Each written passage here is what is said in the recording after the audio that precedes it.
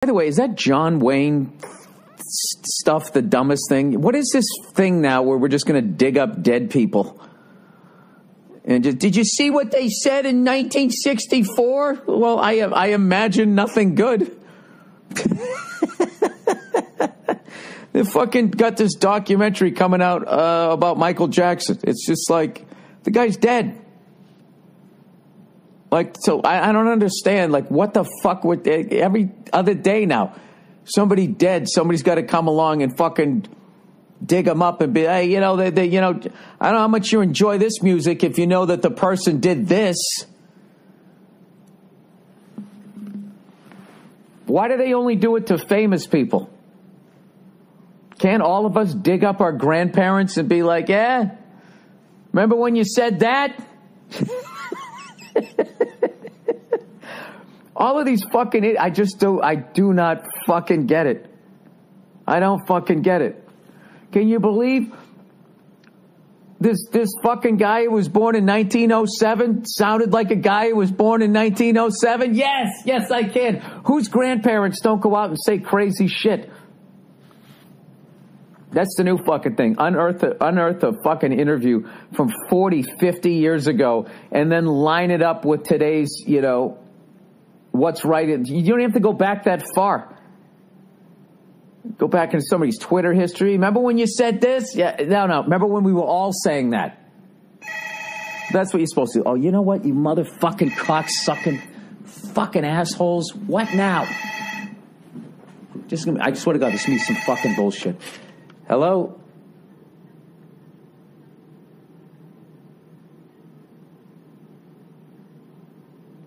You have what?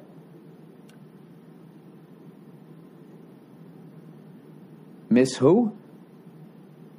I don't know who that is. All right, bye. I have Miss Simi? Miss Kimmy? I don't know who the fuck that is. Um. Anyways, Jesus Christ.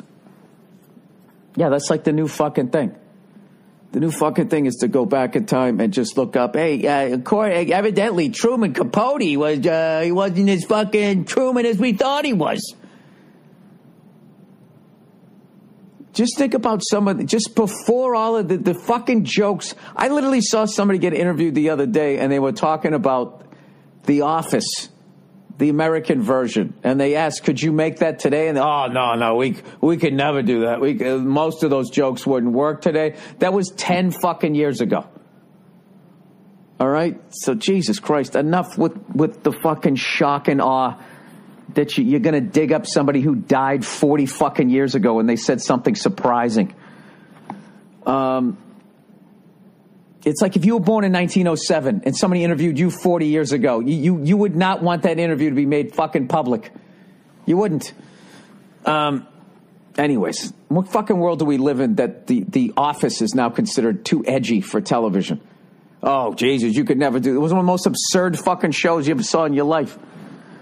Um, I don't know, but that's where we are because that's where we are because eight percent of the fucking that's my rough as far as I can tell, the people that I talk to. Everybody else is just like, dude, what is the big fucking deal? Yeah. You know what's fucking hilarious? Someday you're going to sound like your fucking grandparents.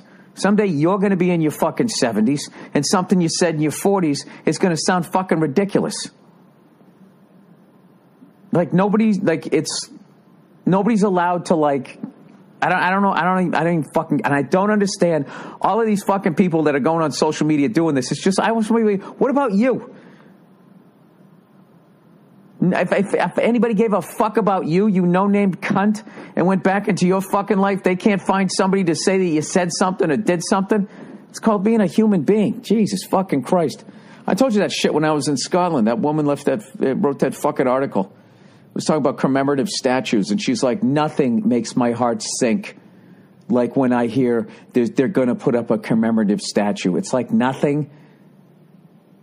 Fucking uh, genocide, child pornography, nothing quite makes your fucking heart drop like the making of a commemorative statue. Oh, Jesus. Um, anyways. Can you believe Christopher Columbus was actually a fucking asshole? New evidence shows it's just like, where was that new evidence? What was it just sitting on somebody's desk for fucking 400 years? Um, he's a all these fucking people compared to what somebody in 2019 yeah I, I, would like to think that people learn how to treat other people better each year that's what we're supposed to be doing you know what i mean if you go back and watch an episode of solid gold there's a lot of people dancing today that uh, on that thing that would get laughed out of the fucking club and that was the peak of dancing back then but it progressed and now all those moves that were unbelievable are now kind of basic. That's what happens. It just kind of, you know. Can you believe the guy that won the Indy 500 in 1955 wouldn't even have qualified for the race in 2019? I don't think this guy's a champion. I think they need to rethink that championship. Top end, he was only going 140 miles an hour. I mean, the fucking pace car today goes faster than that. Um, I don't know. And it's just, I, I, it's. Uh, all right. If does that do anything? Does it really do anything to say, hey, this guy who's who's been dead for 40 years is is actually this now?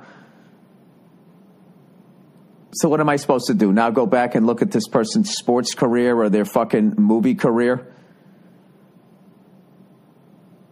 And look at them differently somehow and then sit there and look at myself like I'm this great fucking person just because I had the luxury of being born when I was born?